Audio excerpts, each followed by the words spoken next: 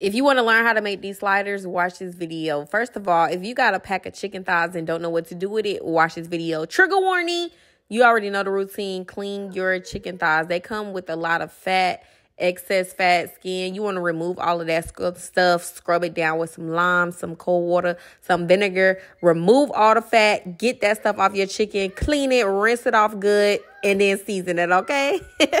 After you clean your chicken thighs, you want to go ahead and season them. Okay, so right here, y'all, you want to lightly season them. We're making some chicken what is it like buffalo chicken sliders yeah so you just need a little bit of seasoning right here depending on how many um chicken thighs you have is going to determine how much seasoning you want to use i use the no dash salt free seasoning some roasted garlic and herbs some onion powder and a little bit of seasoning salt, okay? Because the buffalo sauce and the hot sauce already has salt in it, so you do not want to over season your meat, okay?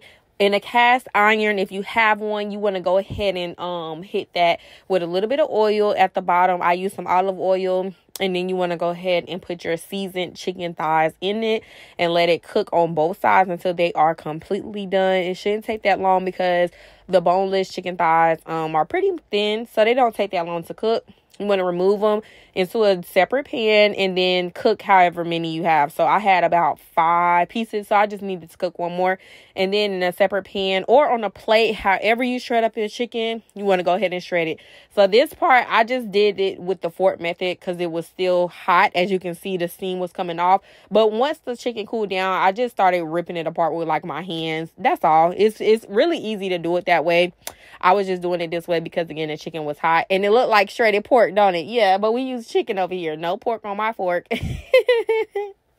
anyway, you want to make sure all your chicken is shredded. There are several different ways you can shred up your chicken, but again, you want to make sure all of it is shredded. I did add mine back into the pot because I wanted to make sure each piece was thoroughly cooked. Um so I just went ahead and added it back to the pot. And then you're going to do that part anyway because you're going to add these into the oven to cook down the cheese and all the sauce that you add on anyway. But yeah, that's all. So go ahead and preheat your oven until what is it 400 degrees preheat your oven on 400 degrees and go ahead and add your buffalo sauce it does not matter what kind of sauce you use i try to use the ones um without like salt because i don't like my food salty okay so I want to add enough buffalo sauce to cover each piece of shredded chicken, okay? And then I went in with some Louisiana hot sauce because I like it hot. We love it hot over here, okay? Ever since I was little, I've always loved hot food.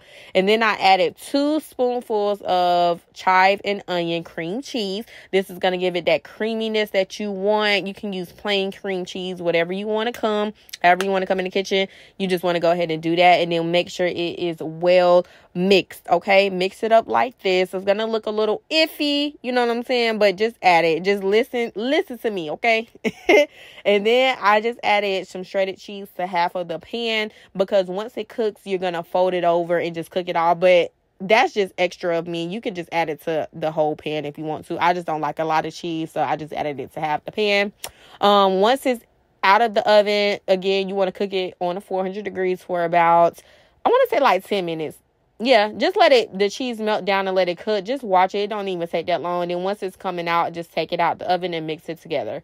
While that is cooling off a little bit, you want to go ahead and get you some Hawaiian rolls. I use the sweets Hawaiian rolls. You want to split those into um half so that way you can um, remove the top part of the bread and go ahead and layer your um, sliders. It's simple, quick, and easy, y'all. You're just adding the chicken onto the bottom of the bread and then you'll add whatever kind of cheese you want. If you don't want to add cheese, you don't have to. Um, and then you're going to cover it up and put it back in the oven. But I love this part right here, y'all. It just show you how much chicken is on your sliders and you can even it out however you want to. I just used American cheese on half of my sliders because that's how my man likes it and he loves American cheese.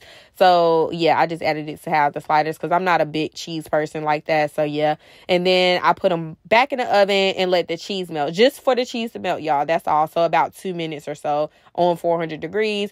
I took it out and I spreaded it with some garlic butter. That's it. It's literally garlic in there, butter, and I added some parsley and some chives. That's it literally and i melted it in the microwave and i spreaded it on top so it could look just like that y'all and that was literally it look at that mm Mm-hmm. Yeah. And then I went on top and added some honey. I got some local honey, so I love it. I love it. I love it. Look at this. Look at this cameo. I paired it with some fries and voila, y'all. It was so delicious. Like this is a great snack. Try this recipe. Bye, y'all.